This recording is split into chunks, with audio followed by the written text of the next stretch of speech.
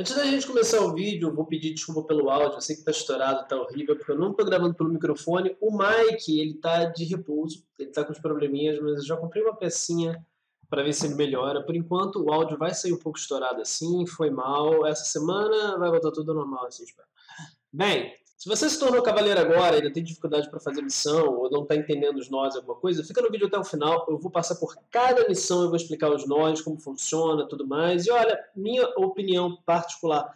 Esse é um cavaleiro que em muito tempo, assim, ele, ele tá bem fácil, tá? Ele tá bem fácil e bem divertido, o que eu não tenho visto muito. Eu tenho reclamado nos últimos meses, falando, nossa, mas esse cavaleiro tá maçante, o cavaleiro tá chato, porque os nós tornam as lutas chatas. Mas eu me diverti fazendo esse, viu? Eu me diverti. Já deixa um like, se inscreve no canal se quiser apoiar a gente, tornar-se membro. Tem o um link aqui embaixo, tem um botão aqui. Faz isso que você vai ajudar muito o canal a continuar existindo e sobrevivendo, ok?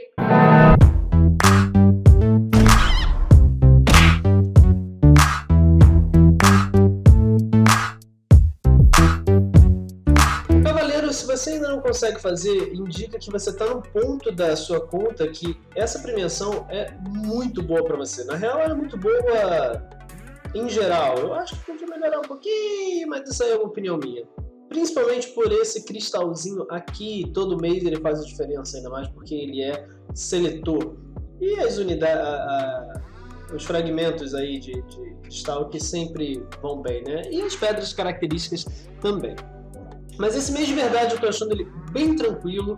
Vamos passar por cada mapa, né? É, como vocês sabem, o Cavaleiro, cada um dos seis mapas tem um nó, tem nós que beneficiam uma classe dos campeões. Começando pelo 1.1, mapa dos científicos. Esse é um dos nós científicos assim que eu acho mais divertido, de verdade, viu? Principalmente se você for usar o Void aqui. Acontece que por cada debilitação que você dá no oponente, quando ela expirar, você vai ganhar uma fúria. Então você já sabe que o Void é um reizinho aqui, né? Mas assim como outros vários campeões científicos, como o Abominável, o Imortal, o Tocha, eles todos vão muito bem, o, o próprio Barba, inclusive se você usar a sinergia com a she e tudo mais, você tem uma equipe para brincar. Esse mapa é para brincar, de verdade. Eu gosto muito desse, desse nó, porque não necessariamente você precisa dar veneno, petrificar, cansaço, você pode dar apenas o atordoar que já conta. Entretanto, cuidado e atenção com quem você for levar, porque em geral você vai ter um nó que beneficia a classe e um nó meio que contrastando para não ser tão fácil assim, mas é bem tranquilo, viu? É só você tomar cuidado com essa redução progressiva, porque se o cara não tiver debilitações nele, ele vai sofrer menos 60% de dano. Mas não é nada para se preocupar de verdade, isso não é bem tranquilo. Indo para o boss, nós temos a Ghost, nossa querida fantasma. Nada camarada. O que você tem que entender é o seguinte: na sua luta prática, se você não der uma debilitação de dano por tempo nela, você não vai ganhar poder. Não adianta você dar petrificar as debilitações do Void, não adianta você dar atordoar. Tem que ser uma debilitação de dano por tempo, sangramento, incinerar, choque. Então também não vai adiantar você levar campeões que vão dar dano pelo especial 1 ou 2 ou 3. Porque se você não der dano assim que começa a luta, você não vai conseguir se juntar poder. Então, Nick Fury, a Tocha Humana, o Abominável Imortal são campeões que vão excelente aqui. A Tina 99. Se você é um, um, jogador de Magneto, você já vai olhar a Ghost e ficar com vontade de levá-lo para essa luta. Mas não leva, ele não vai ganhar poder, então não vai adiantar nada, ok? Outro nome para você ficar ligado é esse. Agora você me vê.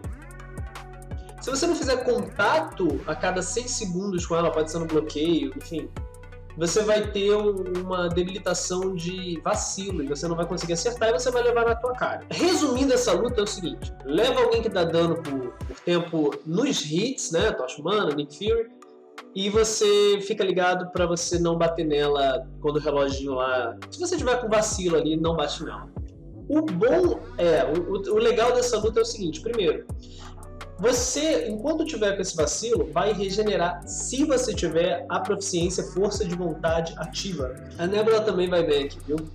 Em seguida, nós temos o mapa dos campeões da classe Mística, outro mapa que tem um nó bem divertido esse mês também. Feiticeiras Escarlates, ambas brilham nesse mapa, é bem divertido. A Morningstar, ah, campeões místicos em geral, né? Porque eles têm uma mecânica de anular o Doom É bem fácil de jogar com eles aqui. O espaço particular é um nó que vai, na real, te ajudar. Porque se você estiver perto do oponente, ele vai ganhando fúria. Essa fúria você pode anular. Então campeões que não tem muito bônus, tipo o massacre aqui, se você só ficar perto dele, você, ele vai ganhar uma fúria, você anula, pronto. O Homem-Dragão também é um boss bem fácil de lidar, principalmente se você tiver bons anuladores. E esse mapa já vai te pedir anuladores, então. O Doom aqui brilha. Agora, o Tocha. O Tocha, ainda mais se você botar a chama dele nova lá, Tocha derrete. Eu fiz o meu, o meu tá R3, beleza, 6 estrelas R3, mas eu fiz em 22 hits, alguma coisa assim. Só para lembrar uma coisa, se você é novo no mapa Cavaleiro, esse nó que beneficia as classes em cada mapa, ele não é um nó global, ok? Aqui no boss não tem esse nó. Os, os místicos não vão ganhar fúria, os científicos lá na Ghost não vão ganhar fúria o nó não é global. Tá aqui no link do vídeo uma imagem que eu fiz sobre um guia para você conseguir visualizar ali ilustrativo de, dos melhores campeões para você usar em cada boss. Aqui eu falo que tanto campeões anuladores vão bem contra esse Dragon Man, quanto campeões místicos com muito bônus, porque ele tem o especial 1 não bloqueável, então você tem que tomar cuidado com isso, né? Porque além de ser muito grande, ele toma muita tela, se ele te botar na parede, as habilidades do Dragon Ball vão ser ativadas, você vai ter problema. Mas o rico enriquecendo realmente pode dar uma dorzinha de cabeça, pelo que o campeão que tiver mais bônus vai ganhar mais poder. Daí é que fica interessante. Se você levar o, sei lá, o Super Screw, por exemplo, que tem 300 bônus, você vai burlar isso e você vai ganhar mais poder do que ele, entendeu? Você não vai conseguir controlar o poder dele com controladores de poder porque ele está imune a manipulações de poder. Não adianta levar a magia. Um nó bem interessante para você ficar ligado é o Clarividência.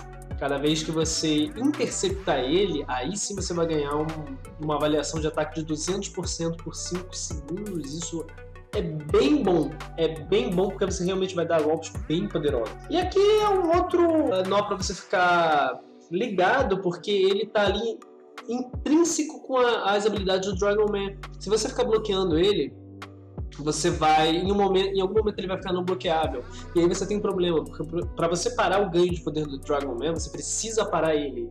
E para você esquivar do especial 1, OK, mas do 2 já é mais difícil. Então, bloquear é a melhor saída. Só que ele vai acabar contando vários hits. Então, essa é a pegadinha aí do Dragon Man. Tem que ficar ligado nisso, viu?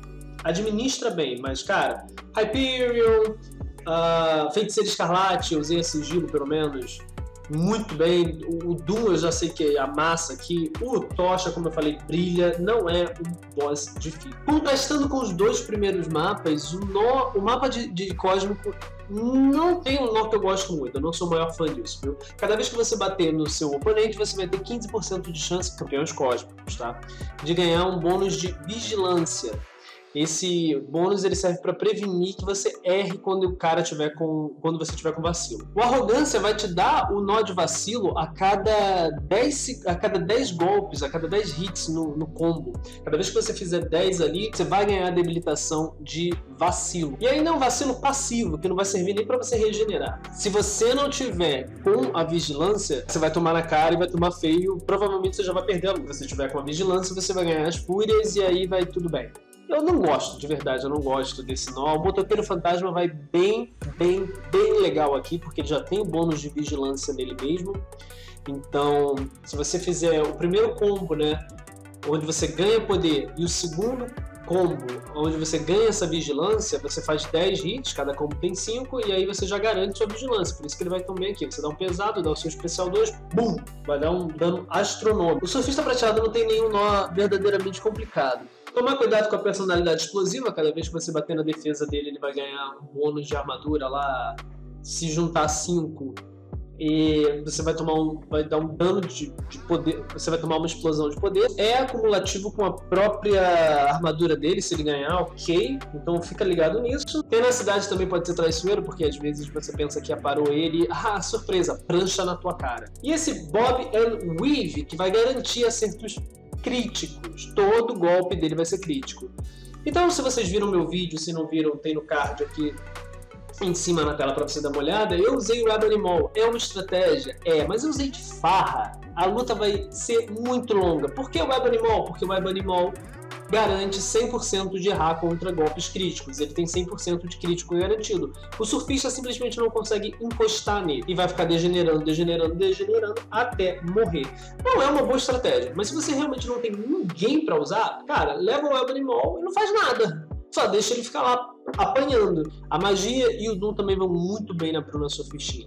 Temos o mapa dos Pack. É um mapa divertidinho, viu?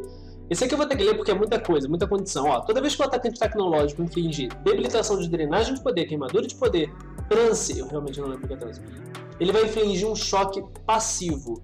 É muito...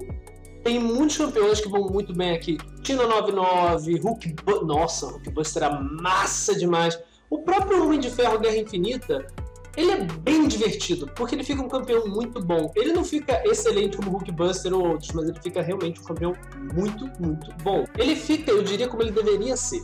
Agora eu já vou ensinar o truque desse mapa. Deixa eu só passar para o próximo nó aqui, que é o Revelação Chocante. Cada vez que o defensor sofrer um efeito de choque, enquanto um dos campeões, seja o atacante ou o defensor, usar um ataque especial durante esses efeitos, você vai ganhar uma fúria. Vai aumentar o seu ataque. É assim que você ganha fúria nesse mapa, tá? Qual é o legal aqui? Você não ganha fúria só pelo nó de cima, você ganha também pelo de baixo. Então, se você levar atacantes como, por exemplo, o próprio Homem de Ferro, Guerra Infinita, seu E1 lá que vai dar choque, vai ser muito fácil de você ganhar as fúrias. Assim como Hulkbuster, Nebula. A Nebula eu testei, se vocês forem procurar na live, ela é bem divertida aqui, mas ela é bem divertida tem minhas críticas, porque ela não vai, né, por ficar apanhando no bloqueio e tal, ela não vai durar até a quarta luta. Mas ela é bem divertida. O cara, a saúde do cara faz isso, ó. Bum, acabou. Chegando no pau mole, eu vou te falar, ele tá tão fácil realmente que eu nem sei quais são os nós que tem nele, porque eu nem li. Eu só levei o, o, o Nick Fury Soleil. O Arcanjo também sola bem fácil aqui, principalmente se tiver Cavaleiro do Apoca, mas vai ser difícil você né, construir o Cavaleiro do Apocalipse aqui nesse mapa. Mas, cara, se você levar Arcanjo, Nick Fury, é bem, bem, bem tranquilo. Ele é basicamente uma luta normal, viu? Você só tem que tomar cuidado, porque, ó, cada debilitação que ele vai botando em você vai reduzir a sua precisão de habilidade defensiva em 30%, então, mesmo no bloqueio, você vai acabar levando muito dano. Entretanto, como ele te enche de debilitação, se você tá com a força de vontade ativa, você vai regenerar bastante nessa luta, o que é divertido. Mas sério, Nick Fury na segunda vida, na primeira vida ele leva, mas na segunda ele vai mais fácil ainda. A Elsa faz, o Falcão, o Arcanjo, é muito fácil. Agora para falar do mapa de habilidade, nós temos o casal de ouro no 3.1 e no 3.2, Icaris e Cersei. Esse mapa aqui do Icaris é um mapa de habilidade, é um dos nós mais divertidos também, se você tiver o campeão certo, obviamente, senão você pode ter problemas. Então assim, cada vez que você purificar uma debilitação, você vai ganhar a sua fúria. Leva o Kingpin, que você já vai ter um excelente campeão.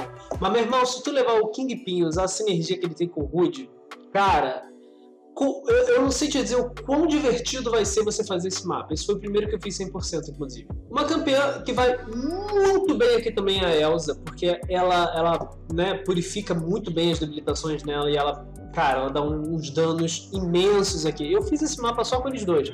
A garota esquilo deve bem aqui também. A a gente Venom, depois que purificam, tem né, até na cidade as coisinhas deles. Entre o Icaris e a Cersei, eu achei o Icaris bem mais divertido de, de lutar contra. Ele, se você tiver o campeão certo também, vai, vai ser uma luta bem divertida. O que você tem que ficar ligado aqui é esse nó de imunidade a sangramento, que vai te impedir de usar o arcanjo, basicamente, aqui. Ele também vai ficar insuperável cada vez que ele ganhar fúria, e você tem que tomar cuidado com o instigador cinético, porque, primeiro, o Icaris ele já ganha bastante poder. Ele tem aquele energizar dele lá, aqueles bônus que ele vai ganhando quando apanha ou quando bate, que ele acumula no máximo 10 ele ganha bastante poder. E ele tá com o instigador cinético. Quando você bater na defesa dele, ele também vai ganhar poder. Então você tem que ficar muito ligado nisso. O especial 2 dele não é muito fácil de esquivar, mas o especial 1 mantém nesse que é bem tranquilo de você esquivar dele. Mas, meu querido, se você tiver o Voodoo, cara, esse cara de hatch. O Voodoo vai ter duas grandes facilidades aqui: controlar o poder dele e botar veneno nele, porque o Icaris ganha muito bônus. Eu já falei que quando bate ou quando apanha, ele ganha energizar no máximo 10. Então ele já tem 10 bônus aí. Você bota isso, mais o Loa, mais a fúria que ele ganha, Acho que ele também tem armadura. É muito fácil botar veneno nele. São lutas muito divertidas. Esse cara simplesmente derrete. Bichos em geral vão muito bem aqui. A magia, o Doom, a, a Claire, o Bispo. Agora, o Ronan, se você fizer a, a, jogada certa aqui, vou te falar que eu venci ele mais rápido até do que o Voodoo. Meu Voodoo tá R5 e o meu Ronan tá R4, os dois 5 estrelas. Cara, eu venci em 80, acho que foi 80 hits. Ele ganha muito bônus, então o Ronan vai amassar simplesmente ele, porque vai deixar ele atordoado a luta inteira. Para finalizar, a gente vai falar do mapa dos mutantes e você podia muito bem deixar o seu like aqui no canal agora para ajudar a gente, compartilhar esse vídeo, né? Porque dúvida e dificuldade no Cavaleiro muita gente tem. Eu não sei se tem gente aqui na galera do BR que está fazendo guias assim, eu mesmo nunca fiz, pensei em fazer agora. É mais um teste esse quadro, preciso saber o feedback de vocês, comentem aqui embaixo o que vocês acharam desse guia. E deixa o like, se inscreva no canal, vira membro para apoiar, dar um suporte aqui pra gente, ok? Todos os links de grupo no WhatsApp, servidor do Discord, tá tudo aqui na descrição do vídeo, tá? Esse mapa não tem nem muito o que explicar, cara, é simplesmente bater, é só isso. O Apocalipse amassa demais aqui. Resumindo, é realmente isso, cada vez que você soltar um especial com o campeão mutante, você tem 30% de chance de ganhar uma regeneração. Uma regeneração bem baixinha, viu? Porém, é assim que você ganha a sua fúria. É só isso, de verdade. Já a Cersei foi a... Aqui eu senti alguma dificuldade, ela não tá exatamente relativamente fácil. Eu dei algumas mortes para ela, viu? Assim como o Icaris, ela tá ganhando muito poder, só que muito mais do que ele. Tem que tomar muito cuidado porque ela ganha, quando ela solta os especiais, um efeito de não bloqueável. E, ela tem esse eternidade à distância. Quando você tá longe dela, o efeito de não bloqueável dela simplesmente vai pausar todos os especiais dela são bem chatinhos de esquivar, você tem que pegar o jeito ali.